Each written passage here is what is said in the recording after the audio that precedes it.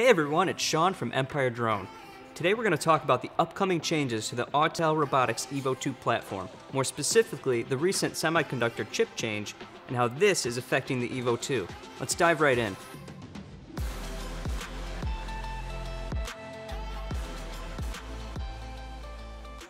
So first, a little backstory. Earlier this month, Autel announced version 2 of the popular Evo 2 drone. This was met with quite a bit of outrage, mostly because of the lack of information associated with the announcements.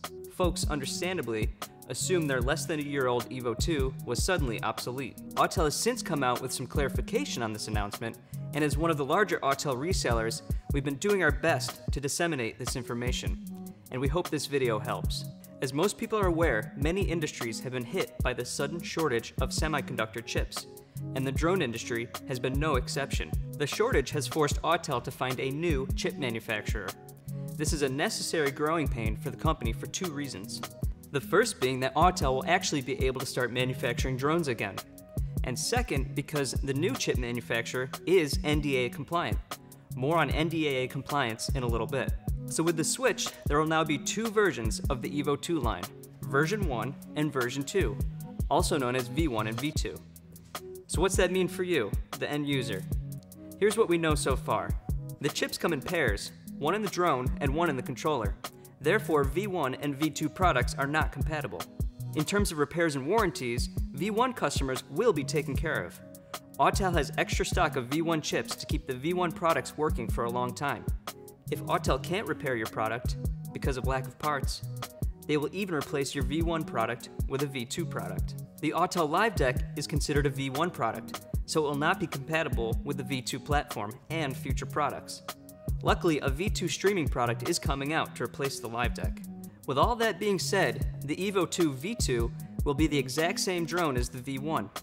All accessories, including batteries, will be the same. The only difference is the new chip and that the V2 will be clearly marked on the exterior of the drone with V2. Unfortunately, all this change is occurring at the same time as the release of the Autel Smart Controller, which has caused some serious confusion. For those who don't know, the Smart Controller, or SC, is Autel's soon-to-be shipped breakthrough ground control system. It will have a very large and bright screen, and it's Autel's answer to the DJI Smart Controller, and some. A lot of people are excited for the Autel SC because of how easy it makes using the Evo 2. Just turn on the drone and the SC and launch. No need for brackets, cables, and third-party tablets. That being said, the Autel SC retails for $1,199. So for some, the third-party tablet route might still be the way to go. At any rate, the SC is going to be a game changer for Autel users. So you can see why there's a lot of hype for the smart controller and a lot of confusion about the V2 announcement. Because just like with the drone, there will be a V1 and a V2 version of the smart controller, and the different versions are not compatible with each other. The V1 smart controller for the V1 drone, and the V2 smart controller for the V2 drone. What we know is that 500 V1 smart controllers have been allocated for the US market, and that the V2 controller will be available in the near future along with the V2 Evo 2.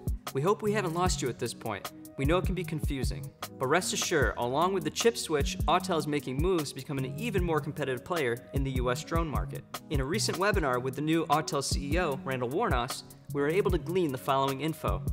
The Evo 2 isn't going anywhere anytime soon. It is a solid platform with a long and very exciting roadmap. Autel is quickly moving towards NDAA compliance, which essentially means it's made in the USA. NDAA compliance means federal agencies and contractors will be able to use Autel drones for their work. It's not clear at this time if this will apply to all future products or just their enterprise line. Check out our video explaining NDAA compliance for more information on that subject, especially if you work for a federal agency or do work for the federal government. Another important bullet from the webinar is that Autel is not leaving behind its consumer users. They understand the importance of creating and maintaining products for customers other than enterprise users. This is great news for any of our photographers, videographers, and recreational users out there. And last but not least, new payloads and platforms are on the near horizon. No real specifics on this yet, other than that the Autel CEO recognizes that there are only really two Autel platform options right now. Small, like the Evo 2, and big, like the Dragonfish, which isn't 100% commercially available yet. So new products are headed our way, which has us very, very excited. So that was a look at the current situation with the very popular Evo 2 platform, and a brief glimpse at Autel's very bright future. Feel free to reach out to us anytime with questions or video requests. Thanks for watching. Be sure to visit our website and subscribe to our social media in the links below. We'll see you next time.